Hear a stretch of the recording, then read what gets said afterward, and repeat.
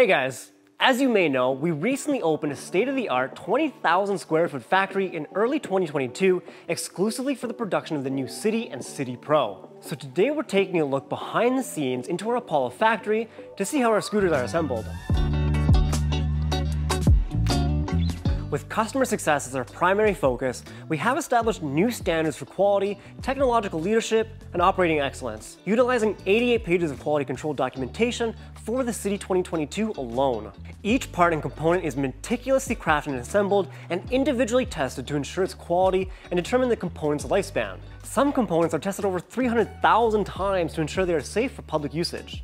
During the assembly process, the team has a standard operating procedure with detailed instructions on how to assemble the components according to our standards and do a visual QC check along the way. Watch as each scooter gets assembled on our fully automated line using dedicated rigs for each component, starting with the neck and frame. Each piece is precisely machined for that seamless design.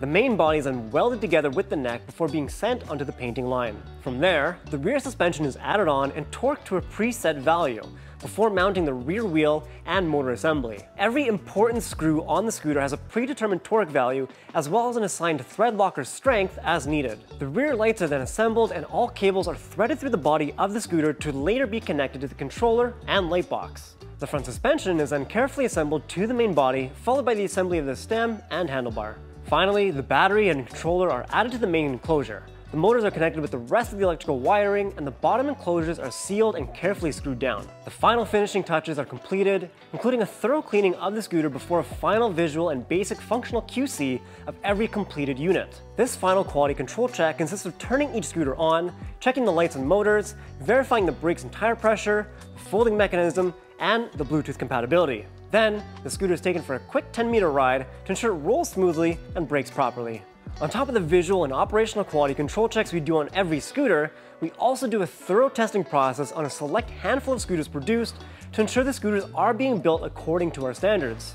This process determines how long the scooter will last under constant stress and pinpoint any potential weaknesses. Testing conditions for these scooters also includes loading them up with up to 220 kilograms of weight and performing a bump test, as well as a machine that pushes forwards and back on the handlebars repeatedly to simulate long-term usage. We also put the battery through an aging test, going through hundreds of charge cycles to determine the battery's lifespan.